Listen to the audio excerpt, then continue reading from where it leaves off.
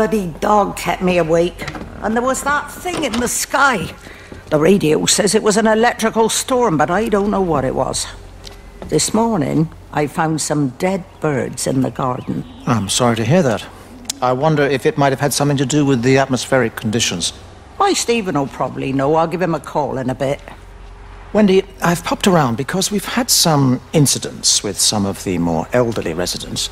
Mrs. Bout has, well, vanished, for want of a better word. Wandered off somewhere, no doubt. I thought I'd best check and see you're all right. The council are talking about a flu epidemic. Yes, well, I'm not sure it's flu as such. But uh, no headaches, nosebleeds, no joint pains, or digestive issues. Dr. Wade, I'm as fit as a fiddle. Go and find some real sick people to look after. And if you see that son of mine, tell him that his mother's looking for him.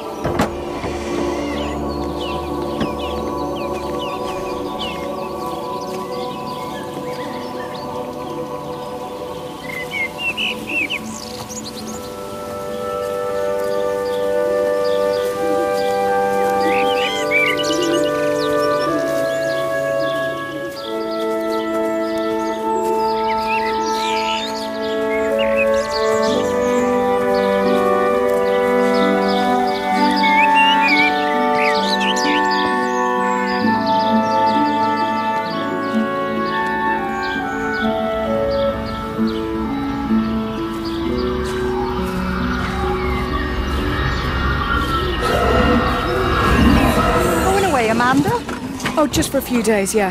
First thing in the morning. I don't want the kids to catch this flu if it's going round. It's probably that father, Jeremy, spreading it around while he tries to bully everyone into donations for the summer fete. It seems very quiet in the village, actually, Wendy. Not much bullying to be done, Oh, father, I didn't know you were here. clearly. Listen, I came up here to tell Amanda that we've had some vandalism in the village. Must be a teenage thing. Tagging, I think they call it. Someone's painting all over doors and things. Little vandals. Well, I'll tell Neil to make sure we're properly locked up when we go. A good man like my Eddie, God. And these thugs and yobs running around defacing property. He gave everything to his country, and look what he got in return nothing but an early death. He had a good life, Wendy. He had a short life.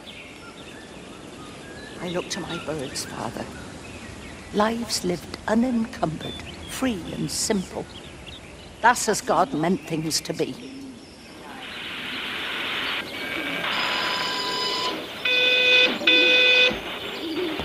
One, seven, zero.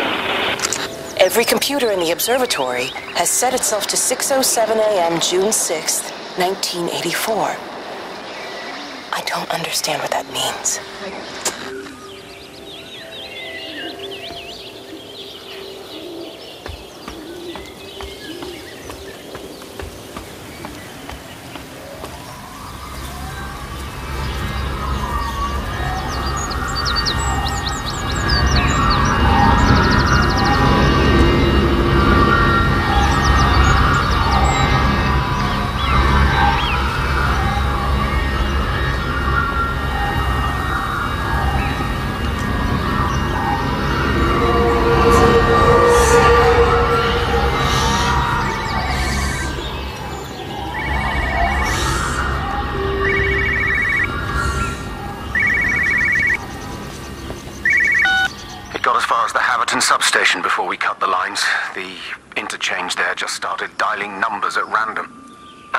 Symptoms you're seeing match those we've been tracking here.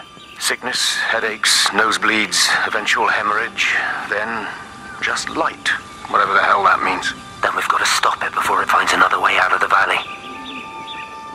Clive, you've got to order a strike. What? An airstrike. We have to kill it. No. No, uh, I don't agree. We've quarantined the valley, we've cut the lines, it's contained. What if you're wrong? Are you happy to have that on your conscience? Stephen, I said it's contained.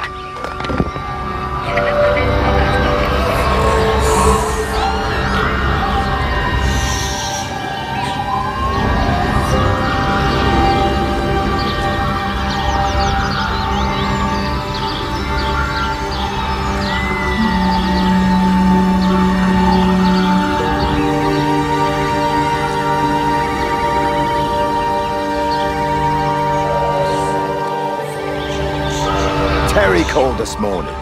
Said there was a problem with Harvey. Said he couldn't get through to the vet, so I said I'd come round and take a look. There's a lot of dead birds today. More here, too, poor little things. I've been trying to get hold of Steve, and He always knows what to do. Got round here and no sign of either of them. With any luck, the stupid creature will have run under a car. It's probably rabies.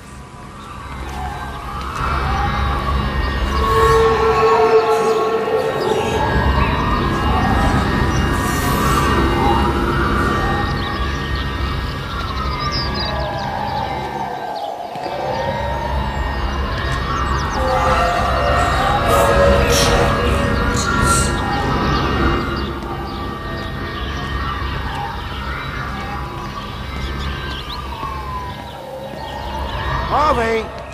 Harvey, come on, boy. Come on, Harvey. Come on, Harvey. Come on, boy. Harvey. Harvey!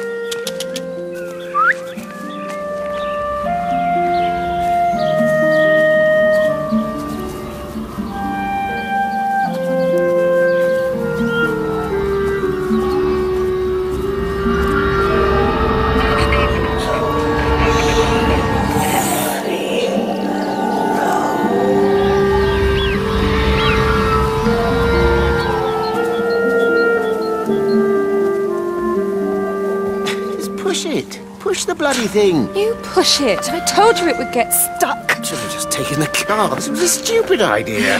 Moving here was a stupid idea. And I told you, Barbara said they blocked the roads. Uh, uh, you go and look then.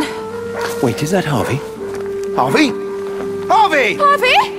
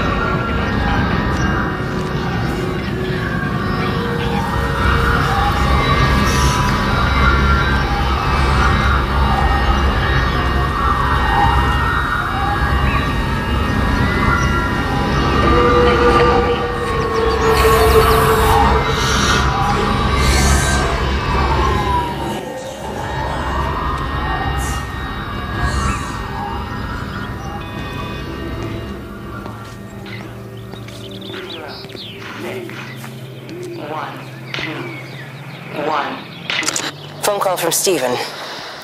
He wants to shut down the receiver, something about instances across the valley. There's intermittent electrostatic discharges radiating out of Tower 6. All of the electrics on the main gate are blown. I'll find time to take a look once the data stream begins to calm down here.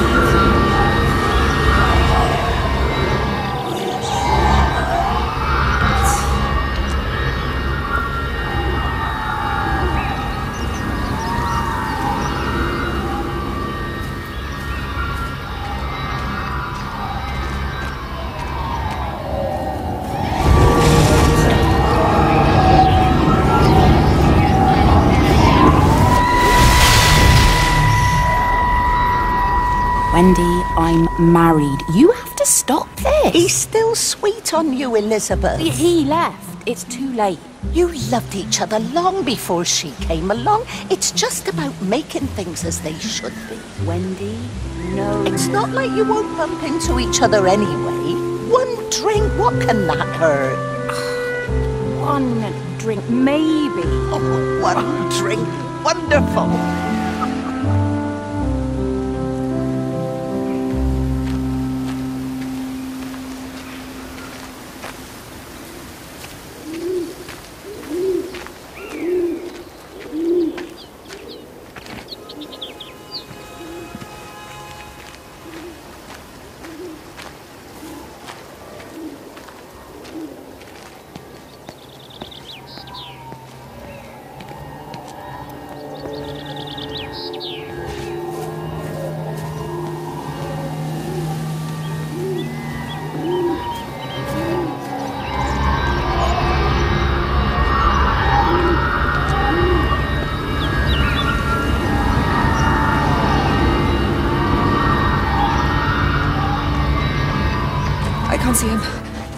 Go down? Just leave it. We've got to keep moving. Sean! We can't just leave him. He must be really badly hurt. Jesus, Diana, we've got the kid in the car. We should just keep driving. We can't just drive off and. Look! He's there. He's in the car. Oh, oh he's hurt. We've gotta get down there. I said, leave him. We've got to get out of the valley while we can. Oh my god, he's trying to undo his seatbelt. There we are. He's fine now.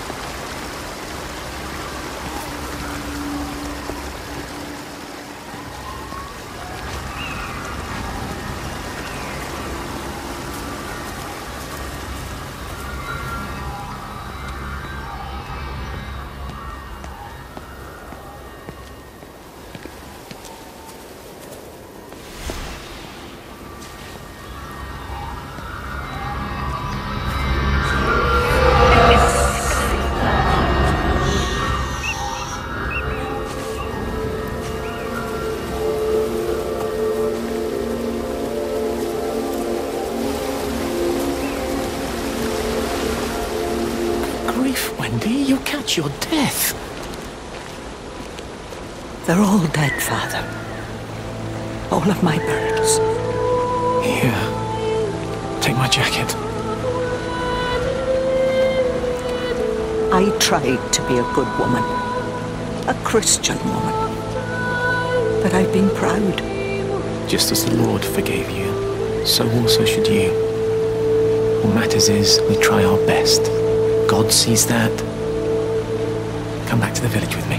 I'm not so far from Stephen's now. I need to find my son. It's what Eddie would have done. Yes. I suppose it is. I'll say a prayer for you. Thank you, Father. She loved you, you know, Mary. You helped her. I'm sorry if I judged you harshly.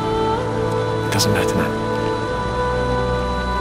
It's late. You, you should find a place to sleep. I'm sure when the sun comes up, everything will seem better.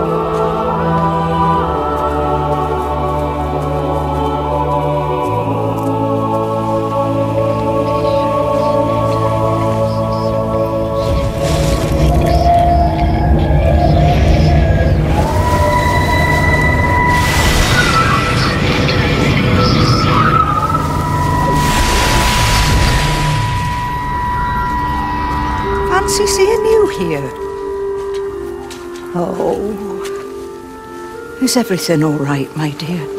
Oh, I'm sorry. I'm all right. I'm all right. It's just. Robert. That man doesn't deserve you.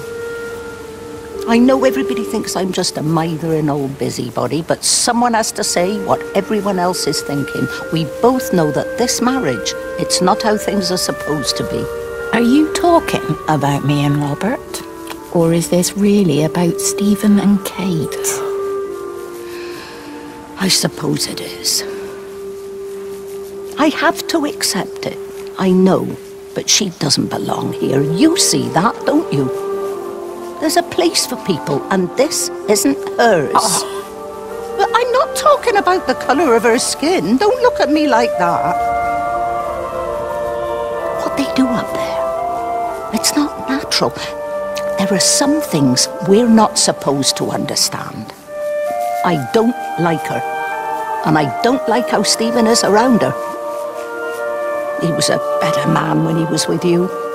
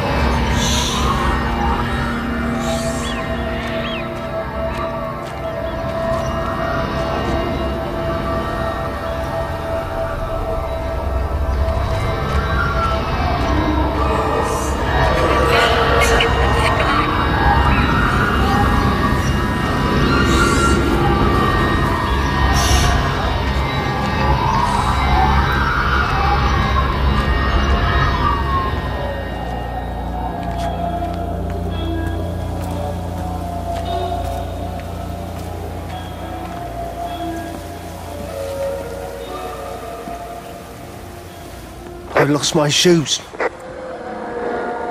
I lost my shoes, sir. There's arches on the green. They've taken my shoes, sir. Howard?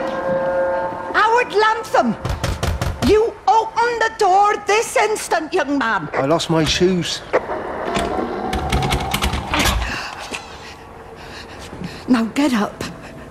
Get up. I lost my shoes. What on earth are you doing here, Howard? Stephen. He told me to stay in case Lizzie phoned. Stephen, where is he? What are you doing with those birds? Concentrate, Howard. Where's Stephen? He said we couldn't help them. He took my shoes so I'd stay. Listen to me, Howard Lantham. You find your shoes and you get to the village. Find Father Jeremy, he'll give you some soup or something. Be off with you. Where are you going? I'm gonna find my son. Then I'm gonna ask him what on earth he thinks he's doing.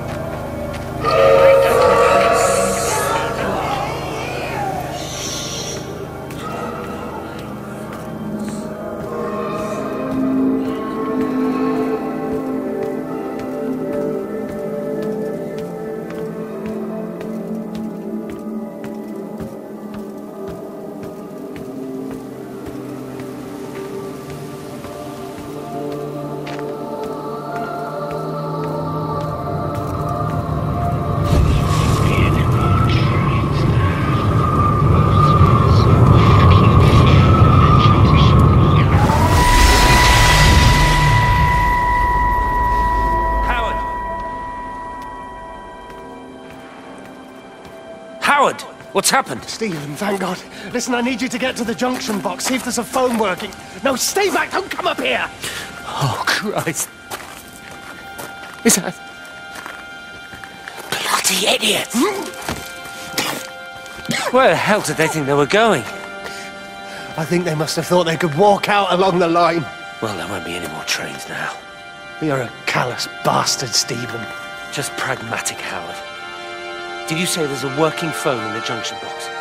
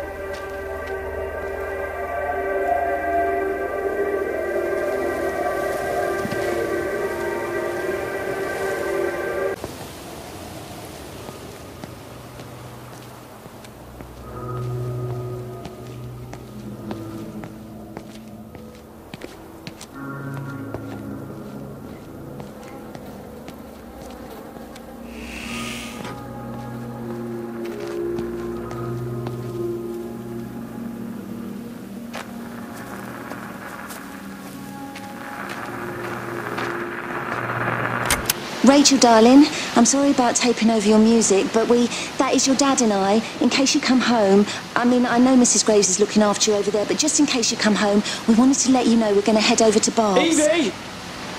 Evie! Sam, I'm leaving a message for Rachel. Are you going to say hello? Jesus Christ, Evie, we ain't got time for this. The bloody car won't start. We're going to have to walk. Sam, shush, it's for Rachel in case she comes back here. But Charlie says everyone's getting to...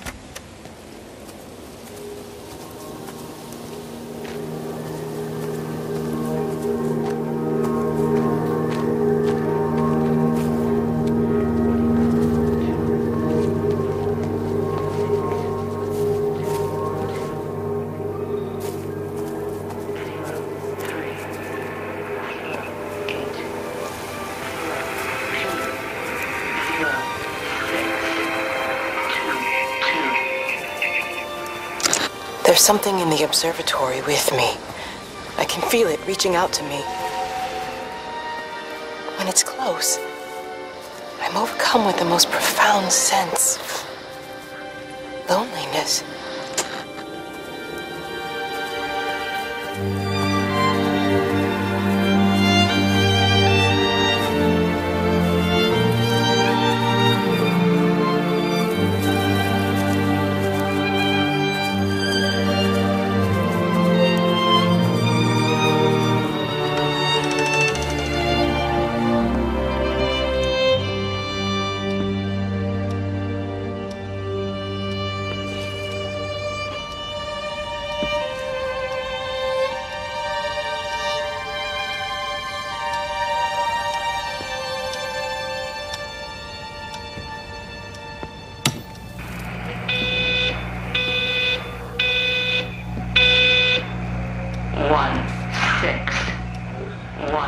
Five one four zero six zero four one six one five one four zero six Wendy? Wendy, wake up. Eddie, is that you? No, it's me. It's Frank. Oh, Frank. The door was open. I didn't think Graham would mind. I'm sure he won't. What are you doing here? Looking for Stephen, but I just ran out of steam. And the door was open. Have you listened to the radio? I thought I heard him on the radio before. It's all over the valley. Don't you get that? This isn't some abstract thing. Whatever came down into the tower has got out. They've quarantined the whole valley. It's right here in the observatory. It's out in the world. It's adapting and spreading. Do you understand? What's he mean? We can't turn it away. What's he talking about? I dunno ken. But if he's on the radio, I can try and reach him on the CB. You go to Stephen's house, and if I get hold of him, I'll tell him to come and find you.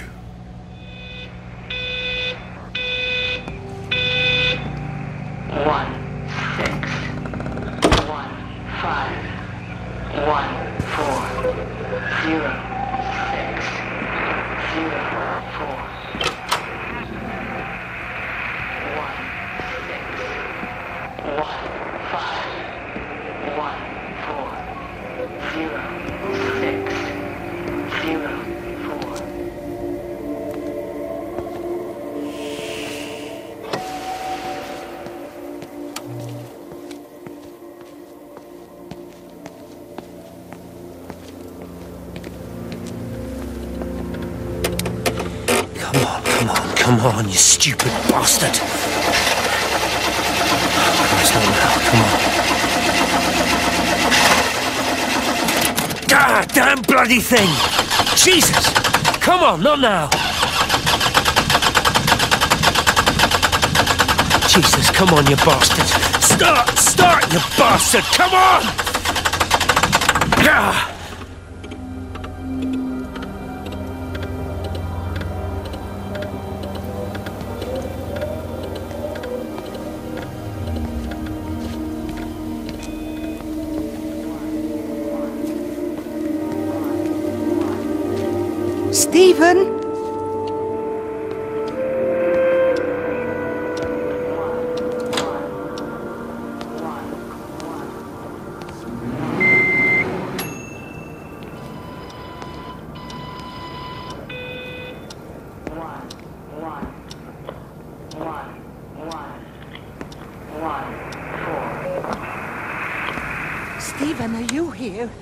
future mother.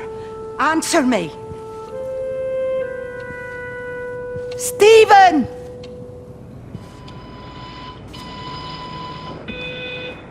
One.